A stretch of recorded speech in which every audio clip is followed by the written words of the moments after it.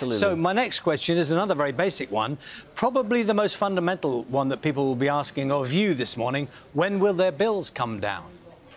Well, look, we've said that we will get to clean power by 2030. That's all of our electricity coming from clean power sources, that's nuclear, renewables, and so on, uh, by 2030. And over the course of this parliament, uh, and that is the cheapest way forward for us as a country, and so over the course of this parliament, we'll start to see the effects of that.